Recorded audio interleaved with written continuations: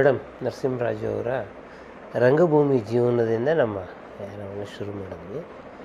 ನರಸಿಂಹರಾಜು ಅವ್ರಿಗೆ ಅನೇಕ ವಿಶೇಷಣಗಳಿದೆ. ನಾನು ಕೇಳಿದ ಹಾಗೆ ಕನ್ನಡ ಚಿತ್ರರಂಗದಲ್ಲಿ ಮೊದಲು ಮನೆ ಕಟ್ಟಿದವರು ಮೊದಲು ಕಾರ್ ತಗೊಂಡವರು ಮೊದಲು ಟ್ಯಾಕ್ಸ್ ಕಟ್ಟಿದವರು ಈ ಥರದ ಮೊದಲು ಫೋನ್ ಹಾಕಿಸ್ಕೊಂಡವರು ಈ ಥರದ ಅನೇಕ ವಿಶೇಷಗಳು ನರಸಿಂಹರಾಜುಗಿದೆ ರಂಗಭೂಮಿಯಿಂದ ಇಲ್ಲಿಗೆ ಹೇಗೆ ಬಂದರು ಅವರು?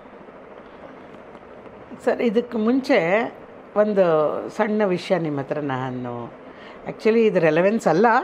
ಅಂದರೆ ಹೆಂಗೆ ಒಂದು ಟರ್ನಿಂಗ್ ಪಾಯಿಂಟ್ ಅಂತ ಸಿಗುತ್ತೆ ಲೈಫಲ್ಲಿ ಮನುಷ್ಯನಿಗೆ ಅನ್ನೋದಕ್ಕೆ. ಯಾವುದೋ ಒಂದು ಸಂದರ್ಭದಲ್ಲಿ ನಮ್ಮ ತಂದೆಗೂ ನಮ್ಮ ತಾತನಿಗೂ ಏನೋ ಒಂದು ಸಣ್ಣ ಮನಸ್ತಾಪ ಆಗುತ್ತೆ. ಅವತ್ತು ರಾತ್ರಿ ಜೋರು ಮಳೆ ಅಂತೆ ಸರ್. ಆಗಷ್ಟೇ ಮದುವೆ ಆಗಿರುತ್ತೆ. ಇದು ಜಸ್ಟ್ ಒಂದು ಸಣ್ಣ ರೆಲೆವೆನ್ಸು ಮದುವೆ ಬಗ್ಗೆ ನಾನು ಆಮೇಲೆ ಮಾತಾಡ್ತೀನಿ. ನಮ್ಮ ತಂದೆಗೂ ಸ್ವಲ್ಪ ಕೋಪ ಜಾಸ್ತಿ ನಮ್ಮ ತಾತನೂ ಕೋಪ ಇಷ್ಟ. ರಾತ್ರೋ ರಾತ್ರಿ ನಡೆಯ ಶಾರದ ಮನೆ ಬಿಟ್ಟು ಹೋಗೋಣ. ಚಿಕ್ಕಮಂಗ್ಳೂರಿನಲ್ಲಿ ಕ್ಯಾಂಪ್ ಇರುತ್ತಂತೆ. ಆಗ ಕರೆದಿರ್ತಾರೆ ನಮ್ಮ ತನ್ನ ತಾತನಿಗೆ ಸ್ವಲ್ಪ ಅದು ಇಷ್ಟ ಆಗ್ತಿರಲ್ಲ. ಯಾಕೋ ಇವನು ನಾಟಕದ ಕಡೆನೇ ಹೋಗ್ತಾ ಇದ್ದಾನೆ ಹೆಂಗೆ ಇವನು ಮುಂದಿನ ಬದುಕು ಅನ್ನೋದು. ಯಾಕಂದರೆ ಇನ್ನು ನಮ್ಮ ಮೂರು ಜನ ಅತ್ತೆಯರು ಚೆನ್ನಾಗಿ ಓದಿದ್ರು. ನಮ್ಮ ಚಿಕ್ಕಪ್ಪನೂ ಹೈಸ್ಕೂಲ್ ಮೇಸ್ಟ್ರಾಗಿ ಅವ್ರು ರಿಟೈರ್ ಆದವರು. ಸೊ ಒಂದು ಹಂತಕ್ಕೆಲ್ಲ ಚೆನ್ನಾಗೇ ಓದಿದವರು. ನಮ್ಮ ಈ ಒಂದು ವಿಷಯಕ್ಕೆ ಏನೋ ಒಂದು, ಯಾವುದೋ ಒಂದು ಸಣ್ಣ ಪರ್ಸ್ನಲ್ ವಿಷಯಕ್ಕೆ ಮನಸ್ತಾಪ ಆಗಿ ಒಂದು ಸಣ್ಣ ವಾಗ್ವಾದ ಆಗುತ್ತೆ ಮನೆಯಲ್ಲಿ. ರಾತ್ರೋ ರಾತ್ರಿ ಸುರಿತಾ ಇರೋ ಮಳೆಯಲ್ಲಿ ತಿಪ್ಟೂರಲ್ಲಿ ನಮ್ಮ, ತಿಪ್ಟೂರಲ್ಲಿ ಅವತ್ತಿನ ದಿನ ನಮ್ಮ ತಾಯಿ ಹೇಳ್ತಾರೆ, ನಡಿ ಶಾರದ ಮನೆ ಬಿಟ್ಟು ಹೋಗೋಣ ನಾವು ಬೇಡ ಬಿಡು ನನಗೆ ಅಂತ. ಕ್ಯಾಂಪಿಗೆ ಕರೆದಿರ್ತಾರೆ.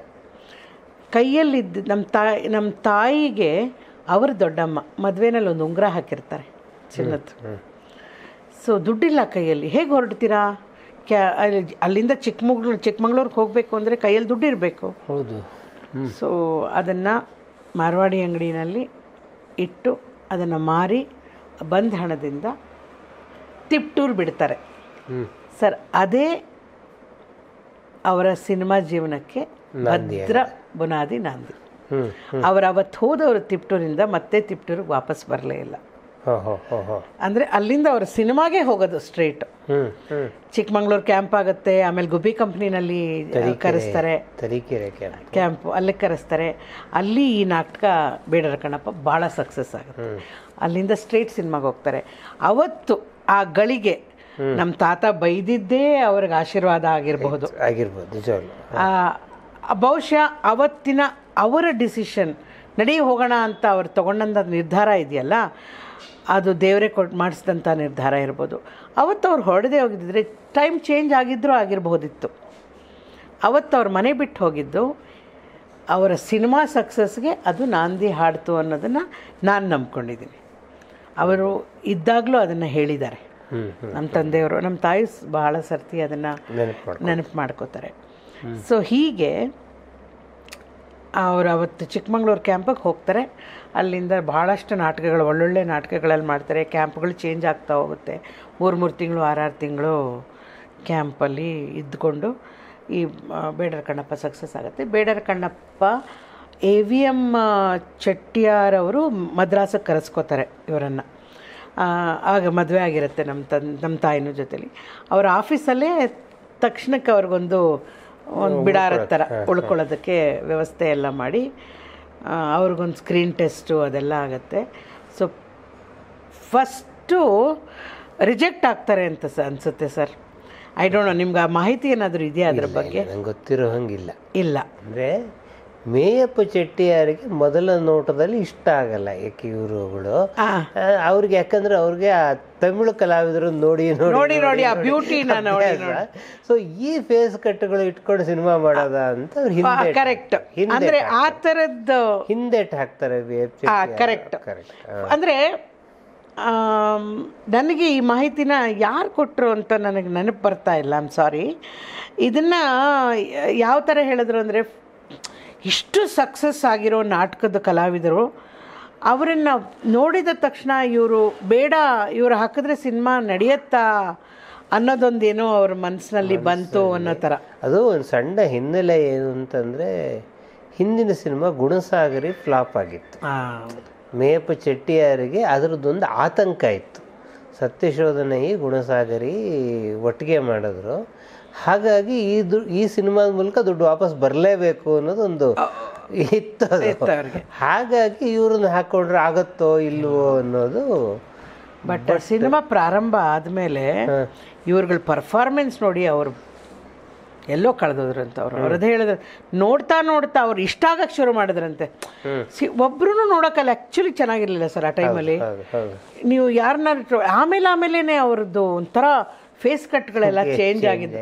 ಆ ತಕ್ಷಣ ನೋಡಿದಾಗ ಎಲ್ಲ ಹೊಸಬ್ರು ಹೆಂಗ್ ಮಾಡ್ತಾರೆ ಅನ್ನೋದು ಗೊತ್ತಿಲ್ಲ. ಬಟ್ ಅವ್ರು ಪರ್ಫಾರ್ಮ್ ಒಂದೊಂದು ಸೀನು ಮಾಡ್ತಾ ಮಾಡ್ತಾ ಮಾಡ್ತಾ ಮಾಡ್ತಾ ಮಾಡ್ತಾ ಅವ್ರಿಗೆ ಭಾಳ ಇಷ್ಟ ಆಗೋದ್ರಂತೆ ಇವರೆಲ್ಲ. ಸೊ ಹಾಗಾಗಿ ಬೇಡರ ಕಣ್ಣಪ್ಪ ಶುರುವಾಯಿತು. ಬೇಡರ ಕಣ್ಣಪ್ಪ ಆದಮೇಲೆ ಒಂದೊಂದೇ ಒಂದೊಂದೇ ಸಿನಿಮಾಗಳು ಮಾಡ್ತಾ ಮಾಡ್ತಾ ಮಾಡ್ತಾ ಆಲ್ಮೋಸ್ಟ್ ಎಲ್ಲ ಸಿನಿಮಾನು ಹಂಡ್ರೆಡ್ ಡೇಸ್ ಕಾಣ್ತಾ ಹೋಗುತ್ತೆ. ಎಲ್ಲದಕ್ಕೂ ಫಲಕಗಳು ಬರುತ್ತೆ ಹಂಡ್ರೆಡ್ ಡೇಸ್ ಫಂಕ್ಷನ್ಸ್ಗಳಾಗ್ತಾ ಇರುತ್ತೆ. ಅಲ್ಲೇ ಉಳ್ಕೊಳ್ಳೋಂಥ ಸಂದರ್ಭ ಬರುತ್ತೆ. ಎಲ್ಲರಿಗೂ ಅಂದರೆ ಕನ್ನಡ ಇಂಡಸ್ಟ್ರಿನೇ ನಮ್ಮ ಚಲನಚಿತ್ರ ರಂಗನೇ ಆವಾಗ ಚೆನ್ನೈಯಲ್ಲಿತ್ತು. ನನಗೆ ಗೊತ್ತಿರೋ ಮಟ್ಟಿಗೆ ಸಾವಿರದ ಒಂಬೈನೂರ ಐವತ್ತ ಒಂದರಿಂದ ನಮ್ಮ ತಂದೆ ವಾಪಸ್ ನಾವು ಬೆಂಗಳೂರಿಗೆ ಬಂದಿದ್ದು ಎಪ್ ಅರವತ್ತೊಂಬತ್ತು ಅನ್ಸುತ್ತೆ. ಅರವತ್ತೊಂಬತ್ತು ಎಪ್ಪತ್ತು ಆ ಕಾಲದಲ್ಲಿ ಬಂದಿದ್ದು. ಇಲ್ಲಿ ನಾವು ಮನೆ ಕೊಂಡ್ಕೊಂಡು ಬಂದಾಗ. ಸೊ ಆ ಅಷ್ಟು ವರ್ಷ ಚೆನ್ನೈಯಲ್ಲಿ ಆಗಿನ ಮದ್ರಾಸಲ್ಲೇ ಇವರು ಇದ್ಕೊಂಡು ಅಲ್ಲೇ ಜೀವನ ಅನ್ನೋ ಥರನೇ ಇತ್ತು. ಮನೆಗಳು ಅಲ್ಲೇ ಕಟ್ಕೊಂಡ್ರು ಪ್ರತಿಯೊಂದು ಅಲ್ಲೇ ಶುರು ಮಾಡಿದ್ರು. ಎರಡು ಸುಮಾರು ಮುನ್ನೂರು ಕುಟುಂಬ ಕನ್ನಡ ಹೌದು. ಮುನ್ನೂರು ಕುಟುಂಬ ಚೆನ್ನೈಯಲ್ಲೇ ಚೆನ್ನೈಯಲ್ಲಿ. ಆಮೇಲೆ ಅವಾಗ ಹೆಂಗೆ ಎಷ್ಟು ಚೆನ್ನಾಗಿತ್ತು ಸರ್ ಅಲ್ಲಿ? ಇವಾಗ ಒಬ್ಬರು ನಿಮ್ಮ ಮನೇಲಿ ಹೋಗಿ ಅಲ್ಲಿ ಸೆಟ್ಲ್ ಆಗಿದ್ದಾರೆ ಅಂತಂದರೆ ಸಿನಿಮಾ ಇಂಡಸ್ಟ್ರಿನಲ್ಲಿ ನೀವು ನಿಮ್ಮದು ಹತ್ತು ಜನ ಕಲಾವಿದರನ್ನ ನೀವು ಕರೆಸ್ಕೋತೀರಿ. ನಿಮ್ಮ ಮನೆಯಲ್ಲೇ ಇಟ್ಕೋತೀರಾ? ನೀವೇ ನೋಡ್ಕೊಳ್ತೀರಾ? ಅವಕಾಶಗಳನ್ನು ಕೊಡಿಸ್ತೀರಾ? ಸರ್ ಯಾವುದೇ ರೀತಿಯಾದ ಇನ್ಹಿಬಿಷನ್ಸ್ ಇಲ್ಲವೇ ಇಲ್ಲ. ನಾನು ಇವ್ರಿಗೆ ಅವಕಾಶ ಕೊಡಿಸಿದ್ರೆ ನಂದೆಲ್ಲ ಅವಕಾಶ ಕಮ್ಮಿ ಆಗಿಬಿಡುತ್ತೆ. ಆ ಥರದ ಭಾವನೆಗಳು ಯಾರಿಗೂ ಇಲ್ವಂತೆ. ನಾನು ಬದುಕಿದ್ರೆ ನನ್ನ ಜೊತೆ ಹತ್ತು ಜನ ಬದುಕಬೇಕು. ಆಮೇಲೆ ಇದನ್ನೇ ನಂಬ್ಕೊಂಡು ಬದುಕಿರೋರು ಬಣ್ಣ ಆಮೇಲೆ ಇನ್ನೆಲ್ಲೋ ಒಂದು ಕಡೆ ಯಾವುದೋ ಒಬ್ಬ ಕಲಾವಿದ ತುಂಬ ಚೆನ್ನಾಗಿ ಅಭಿನಯಿಸ್ತಾನೆ ನಾಟಕದಲ್ಲಿ ಅಂತ ಏನಾದರೂ ಗೊತ್ತಾದರೆ ನಮ್ಮ ತಂದೆ ಅವ್ರನ್ನ ಕರ್ಕೊಂಬಂದು ಮನೇಲಿಟ್ಕೊಂಡು ಅವ್ರಿಗೆ ಅವಕಾಶ ಕೊಡಿಸಿ ಅವರನ್ನು ರೆಕಮೆಂಡ್ ಮಾಡಿ ನೋಡಿ ತುಂಬ ಚೆನ್ನಾಗಿ ಆ್ಯಕ್ಟ್ ಮಾಡ್ತಾರೆ. ಸರ್ ಇಂಥ ಪಾತ್ರ ಇಂಥ ಪಾತ್ರಗಳಂತೂ ಪರ್ಟಿಕ್ಯುಲರ್ ಯಾವುದೋ ಇದ್ದರೆ ಅಕಸ್ಮಾತ್ ವಿಲ್ಲನೇ ಇರ್ಬೋದು ಅಥವಾ ಸೆಂಟಿಮೆಂಟ್ ರೋಲ್ಸು ಯಾವುದೇ ಅವ್ರು ಚೆನ್ನಾಗಿ ಮಾಡಿದರೆ ಇದಕ್ಕೆ ಇವ್ರು ಸೂಟ್ ಆಗ್ತಾರೆ ಅಂತ ಹೇಳಿ ಅವ್ರಿಗೆ ಅವಕಾಶ ಕೊಡಿಸೋವರೆಗೂ ಮನೇಲಿಟ್ಕೊಂಡು ಮತ್ತು ಅಲ್ಲೇ ಎಲ್ಲೋ ಒಂದು ಕಡೆ ಅವರಿಗೆ ಒಂದು ರೂಮ್ ವ್ಯವಸ್ಥೆ ಮಾಡೋದು. ಈ ಥರದ್ದು ಸರ್ ಎಷ್ಟು ಚೆನ್ನಾಗಿರುತ್ತಲ್ವ ಇದೊಂಥರ ಯಾವುದೋ ಕತೆ ಯಾವುದೋ ಹಿಸ್ಟ್ರಿನಲ್ಲಿ ಕತೆ ಕೇಳ್ದಂಗಿರುತ್ತೆ. ಹಂಗಿದ್ದು ವಾಸ್ತವ. ವಾಸ್ತವ ಅಲ್ಲ ಸರ್. ಎಷ್ಟು ಚೆನ್ನಾಗಿದೆ. ಅಂಥ ಒಂದು ಕುಟುಂಬದಲ್ಲಿ ನಾನು ಹುಟ್ಟಿದ್ದೀನಲ್ಲ ಅಂತ ನನಗೆ ಎಷ್ಟೋ ಜನದ ಪುಣ್ಯ ಅಂತ ಅನಿಸುತ್ತೆ ಇದು. ಸೊ ಹೀಗೆ ತುಂಬ ಸಿನಿಮಾಗಳು ಮಾಡ್ತಾರೆ. ಅದರಲ್ಲಿ ಹಿಟ್ ಸಿನಿಮಾಗಳು ನಿಮಗೆ ಗೊತ್ತು ಭಾಳ ಸಾಕಷ್ಟು.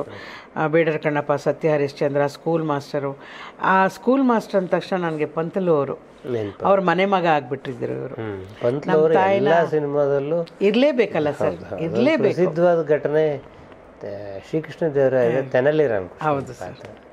ಬಹಳ ಜನ ಇಲ್ಲ ನರಸಿಂಹರಾಜು ಬೇಡ ಅಂತಂದ್ರೆ ಪಂತ್ಲು ಇಲ್ಲ ನರಸಿಂಹರಾಜು ಇಲ್ಲ ಅಂದ್ರೆ ಈ ಸಿನಿಮಾನೇ ತೆಗಿಯಲ್ಲ ನಾನು ಅನ್ನುವ ಮಟ್ಟಿಗೆ ಅವರು ಆ ಕಾಲಕ್ಕೆ ಫ್ಲೈಟಲ್ಲಿ ಹೋಗಿದ್ದು ನಾನು. ಅಂದರೆ ನನಗೇನು ಗೊತ್ತಿಲ್ಲ ಬಿಡಿ ನಮ್ಮಮ್ಮ ಹೇಳೋದು. ನಿನ್ನನ್ನು ನಾವಾಗ ಪ್ಲೇನಲ್ಲಿ ಕರ್ಕೊಂಡು ಹೋಗಿದ್ವಿ ಅಂತ ಮಗು ಅಂತ. ನನ್ನ ಅಣ್ಣ ನರಹರಿ ಅಂತ. ಅವನನ್ನು ನನ್ನನ್ನು ಜೈ ಅದರಲ್ಲಿ ಒಂದು ಸಣ್ಣ ಪಾತ್ರ ಮಾಡಿದ್ದಾನೆ ಅವನು ಶ್ರೀಕೃಷ್ಣ ದೇವರಾಯ ಇವರು ಹೈದರಾಲಿನ ಟಿಪ್ಪು ಸುಲ್ತಾನ್ ಮಗ ಹಿಂಗಂತಾನೆ ಅವ್ರು ಸತ್ತೋದ್ಮೇಲೆ ಅವನಿಗೆ ಪಟ್ಟಾಭಿಷೇಕ ಮಾಡ್ತಾರೆ ಚಿಕ್ಕ ಹುಡುಗನಿಗೆ. ಅವನನ್ನ ನಾನು ಅವನು ಹೋಗಿದ್ವಿ ಅಂತ ನಮ್ಮಮ್ಮ ಹೇಳ್ತಾರೆ ಜೊತೆಲಿ. ಆವಾಗಿನ ಕಾಲಕ್ಕೇನೆ ಸರ್ ಒಬ್ರೊಬ್ರಿಗೆ ಒಂದೊಂದು ಕಾರ್ ಕೊಟ್ಟು ಅಲ್ಲಿ ಓಡಾಡಲಿಕ್ಕೆ ಜೈಪುರ್ಗೆ ಇಲ್ಲಿಂದ ಪಂತಲು ಅವ್ರು ನಿಜವಾಗ್ಲೂ ಅವರನ್ನು ಪ್ರತಿಯೊಬ್ಬ ಕನ್ನಡದ ಕಲಾವಿದರು ಆ ಕಾಲದಲ್ಲಿ ಅವ್ರ ಜೊತೆನಲ್ಲಿ ಅಭಿನಯಿಸಿದವರು ನೆನಪು ಮಾಡಿಕೊಳ್ಳೇಬೇಕು. ಎಷ್ಟೋ ಜನದ ಮನೆಯಲ್ಲಿ ಒಲೆ ಉರಿತಾ ಇತ್ತು ಅವರಿಂದ. ಕರೆಕ್ಟ್ ಆಮೇಲೆ ಸಿನಿಮಾ ಇರ್ಲಿ ಬಿಡ್ಲಿ ತಿಂಗಳ ಸಂಬಳದ ತರ ದುಡ್ಡು ಕೊಡ್ತಾ ಹೌದು ಇದ್ದ ಏಕೈಕ ಪ್ರೊಡ್ಯೂಸರ್ ಏಕೈಕ ಪ್ರೊಡ್ಯೂಸರ್ ಎಂಥ ಹಂಬಲ್ ವ್ಯಕ್ತಿ ಸರ್ ಅವ್ರು. ನಾನು ನೋಡಿದ್ದೀನಿ ಅವರನ್ನು. ಅವರ ಮ ಮುಖದಲ್ಲಿ ಲಕ್ಷ್ಮಿ ಕಳೆ ಸರಸ್ವತಿ ಕಳೆ ಸರ್. ಆ ಕಲರ್ಗೂ ಒಂದು ಗೋಲ್ಡ್ ನನಗೆ ಚೆನ್ನಾಗಿನ್ನೂ ಚೆನ್ನಾಗಿದೆ ಅವ್ರನ್ನ ನೋಡಿದಾಗ. ಹಿಂಗೆ ಎತ್ತಿ ಕೂದಲು ಬಾಚೋರು ವೈಟ್ ಆ್ಯಂಡ್ ವೈಟು ಇದು ಕಚ್ಚೆ ಪಂಚೆ ಉಡೋರು. ಸಿಲ್ಕ್ ಜುಬ್ಬ ಹಾಕೋರು ಸರ್. ಏನು ಕಳೆ ಸರ್ ಮನುಷ್ಯ? ಗೋಲ್ಡ್ ಕಲರ್ ಗ್ಲಾಸಸ್ ಹಾಕೋರು.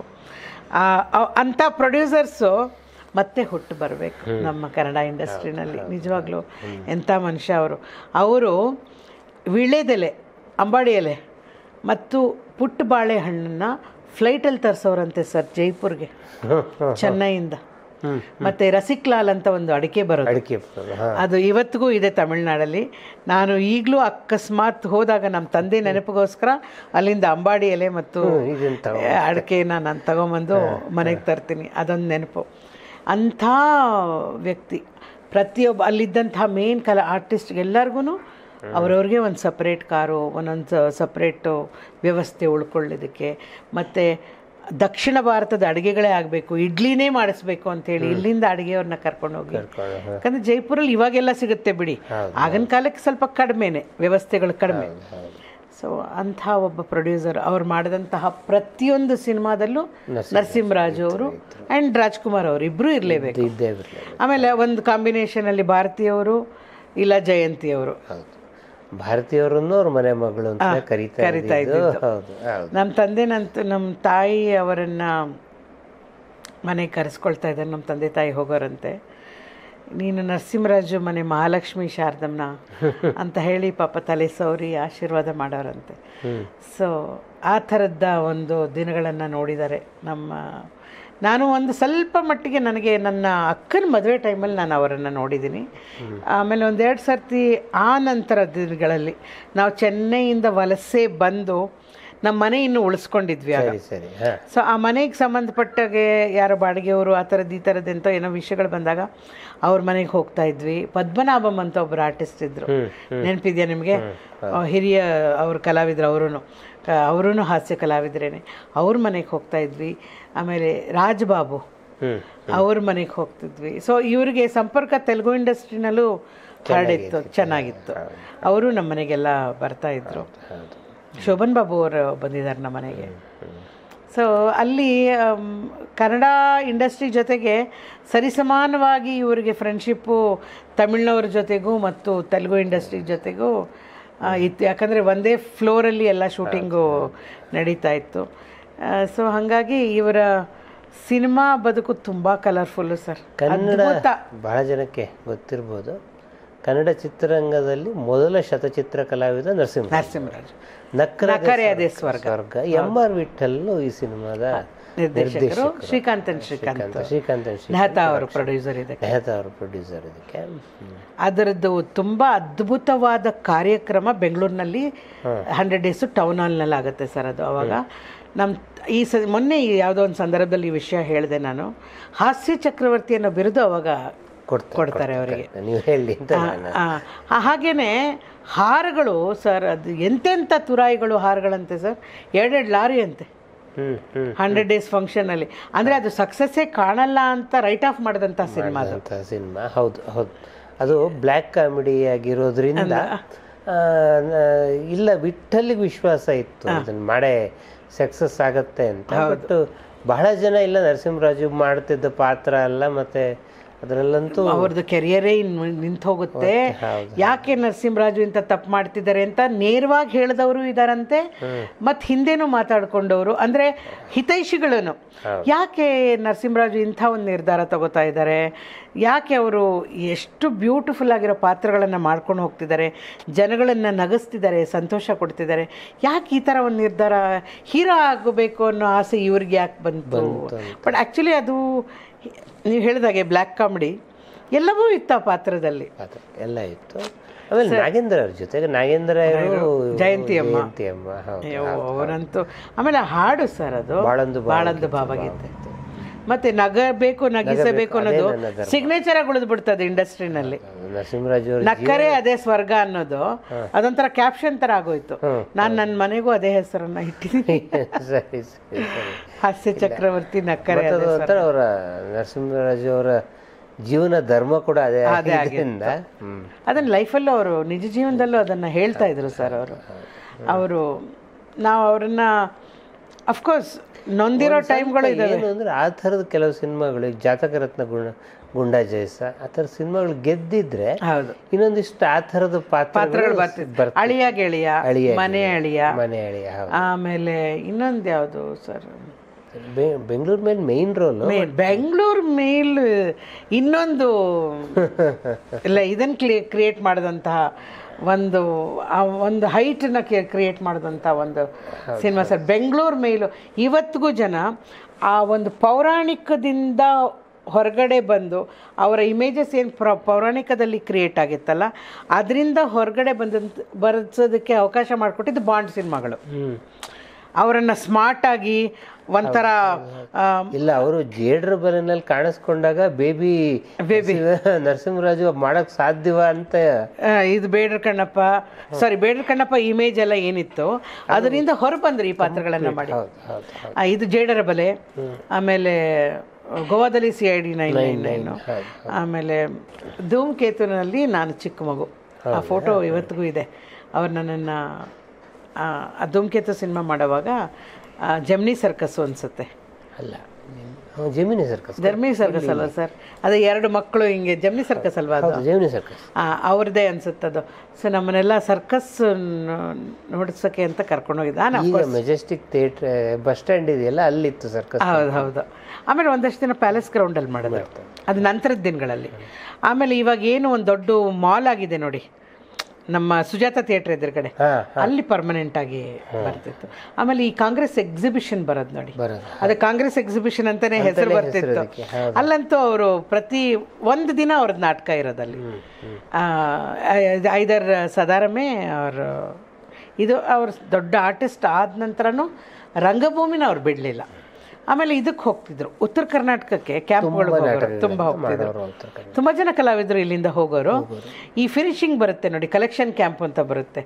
ಒಂದು ಒಂದೊಂದು ಕ್ಯಾಂಪಲ್ಲಿ ಈ ಬೇಸಿಗೆ ರಜದಲ್ಲಿ ಕರೆಸೋರು. ನಮಗೂ ಅವಾಗ ರಜಾ. ಅದೊಂದು ನನಗೆ ಚೆನ್ನಾಗಿ ನೆನಪಿದೆ ನಮ್ಮನ್ನು ಕರ್ಕೊಂಡು ಹೋಗೋರು. ಆ ಬೇಸಿಗೆ ರಜದಲ್ಲಿ ಹೋದಾಗ ಒಂದೊಂದು ಕ್ಯಾಂಪಲ್ಲಿ ಸುತ್ತಳ್ಳಿಗಳಲ್ಲೂ ಸುತ್ತ ಹಳ್ಳಿಗಳಲ್ಲೂ ಇರೋದು. ಒಂದೊಂದು ತಾಲೂಕಾ ಪ್ಲೇಸಲ್ಲಿ ಅಥವಾ ಜಿಲ್ಲಾ ಮಟ್ಟದಲ್ಲಿ ಕ್ಯಾಂಪ್ಗಳಿರೋದು. ನಮ್ಮನ್ನು ನಮ್ಮ ತಂದೆನ ಒಂದು ಒಂದೊಂದು ಕ್ಯಾಂಪ್ಗೆ ಒಂದು ಹದಿನೈದು ದಿನ ಇಪ್ಪತ್ತು ದಿನ. ಇನ್ನೇನು ಕ್ಯಾಂಪ್ ಕ್ಲೋಸಿಂಗ್ ಬರುತ್ತೆ ನೋಡಿ. ಅವಾಗ ಇವರನ್ನು ಕರೆಸೋದು ಕಲೆಕ್ಷನ್ಗೆ ಅಂತ. ಸೊ ಆ ಥರ ವರ ನೋಡಿ ಹೆಣ್ಣು ಕೊಡು ಅಂತ ಒಂದು ನಾಟಕ. ಅದರಲ್ಲೊಂದು ಗಿರಿ ಪಾತ್ರ ಮಾಡೋರು. ಈ ಬಲೂನ್ ಎಲ್ಲ ಮಾರ್ಕೊಂಬಂದು ಅದರಲ್ಲೊಂದು ಡ್ಯಾನ್ ಡ್ಯಾನ್ಸು ಓಕೆ ಅದು ನಂಗೆ ಚೆನ್ನಾಗಿ ಆಮೇಲೆ ಮಂಗಳಾನ ನತ್ತಿಗೆ ಮಾಡ್ತಿದ್ರೋ ಇಲ್ವೋ ನನಗೆ ಗೊತ್ತಿಲ್ಲ. ಬಟ್ ವರ ನೋಡಿ ಹೆಣ್ಣು ಕೊಡು ಅದು ಆಮೇಲೆ ಸಿನಿಮಾನೂ ಆಯಿತು. ಅದು ಆಮೇಲೆ ಗುಣ ನೋಡಿ ಹೆಣ್ಣು ಕೊಡಿ. ಅಂತ. ಆ್ಯಕ್ಚುಲಿ ಅದ್ರಲ್ಲಿ ವರ ನೋಡಿ ಹೆಣ್ಣು ಕೊಡು ಅಂತ. ಸೊ ಆ ನಾಟಕ ಸ್ವಲ್ಪ ಚೆನ್ನಾಗಿ ನೆನಪಿದೆ ನನಗೆ ಯಾಕಂದ್ರೆ ಈ ಥರದ ನಾಟಕಗಳು ಅಲ್ಲಿ ನೋಡಲ್ಲ. ಈ- ಪ್ರವಾಹ ಪರಿಹಾರ ನಿಧಿಗೆ ಹೋದ್ರಲ್ಲ ಆಗ ನರಸಿಂಹರಾಜು ಎಲ್ಲ ಕಡೆ ಹಾಡುಗಳನ್ನು ಹೇಳೋರು ಮಿಮಿಕ್ರಿ ಮಾಡೋರು ಬಹಳ ಜನಪ್ರಿಯ ಆಗಿದ್ದು ಅದೊಂದು ಸಂದರ್ಭ ಅದು. ಒಂದು ಹಾಡು ನಿಮಗೆ ಗೊತ್ತಿದೆಯೋ ಇಲ್ಲೋ ಗೊತ್ತಿಲ್ಲ. ನಿಂಬೆಯ ಹಣ್ಣಂತೆ ತುಂಬಿದ ಮೈಬಾಲೆ ಇಂದಿರಾಯಣ ಸಿನಿಮಾದಲ್ಲಿ ಆ ಹಾಡನ್ನು ಹಾಡಿದ್ರು ಅನ್ಸುತ್ತೆ. ಗೌರಿ ಸುಂದರ್ ಅವರು ಸಿನಿಮಾ ಮಾಡಿದ್ರು ನೋಡಿ. ಅದು ಆಮೇಲೆ ನಮ್ಮ ತಂದೆ ಹೋಗ್ಬಿಟ್ಟಿದ್ರು ಅಷ್ಟೊತ್ತಿಗೆ ರಿಲೀಸ್ ಆಗಲಿಲ್ಲ. ಆಮೇಲೆ ಆ ಒಂದು ಐ ಥಿಂಕ್ ಬಾಲಣ್ಣ ಅವರು ಅಭಿನಯಿಸಿದ್ರು ಅನ್ಸುತ್ತೆ ಹಾಡಿಗೆ. ಹೌದು ಕರೆಕ್ಟ್ ಕರೆಕ್ಟ್ ಕರೆಕ್ಟ್ ಇಲ್ಲ ಕರೆಕ್ಟ್ ಅದು. ಕರೆಕ್ಟ್ ಅಲ್ವಾ? ನಿಂಬಿಯ ಹಣ್ಣಂತೆ ತುಂಬಿದ ಮೈ ಬಾಲೆ ಕಾಣದೆ ನಿನ್ನ ಬಳಲಿದೆ ಚಿತ್ರಕೂಟ. ಚಿತ್ರಕೂಟ ಸಿನಿಮಾ. ಇಂದಿರಾಯಣ ರಿಲೀಸ್ ಆಗೋಗಿತ್ತು. ಇಡೀ ಹಾಡಲ್ಲಿ ಬಾಲಣ್ಣವ್ರು ಹತ್ತಿದಾರಂತೆ. ಆ್ಯಕ್ಚುಲಿ ಹೆಂಡತಿ ಸಮಾಧಿ ಮುಂದೆ ಆಳುವಂಥ ಒಂದು ಸಂದರ್ಭ ಅದು. ಅವರು ಹತ್ತು ಹತ್ತು ಹತ್ತು ಸುಸ್ತಾಗೋದ್ರಂತೆ. ಇವರನ್ನು ನೆನೆಸ್ಕೊಂಡು. ಆ ಹಾಡನ್ನ ನಮ್ಮ ತಂದೆನೇ ಹಾಡಿದ್ದು ಬಾಲಣ್ಣ ಅಭಿನಯ ಮಾಡೋದು. ಒಂದು ಹಾಂ. ಇತಿಹಾಸದಲ್ಲಿ ಅದೊಂದು ದಾಖಲೆ ಹಾಕ್ಬೇಕಾದ ಸಂಗತಿ. ಚಿತ್ರಕೂಟ ಸಿನಿಮಾದಲ್ಲಿ ಹಾಡಿ ಅದೆಲ್ಲಾದ್ರೂ ತೆರೆ ಕಂಡ್ರೆ ಚೆನ್ನಾಗಿರುತ್ತೆ ಚೆನ್ನಾಗಿರುತ್ತೆ. ಹೌದು ಈಗ ಎಲ್ಲಾದ್ರೂ ಅದನ್ನ ತೋರಿಸಿದ್ರೆ ಅಟ್ಲೀಸ್ಟ್ ಆ ತುಣುಕು. ಹೌದು ಹೌದು. ನನಗೆ ಯಾವಾಗಲೂ ಒಂದ್ಸಲ ಗೌರಿ ಸುಂದರ್ ಅವರು ಅದನ್ನ ತೋರಿಸಿದ್ರು ಅಂತ ಅನ್ಸುತ್ತೆ.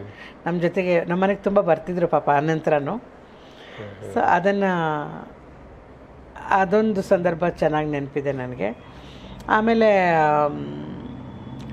ಆ ಹಾಡನ್ನು ಸ್ಟೇಜ್ ಮೇಲೆ ಹಾಡಿದಾಗ ಬೇರೆ ಥರ ಹಾಡೋರು ಅವರು.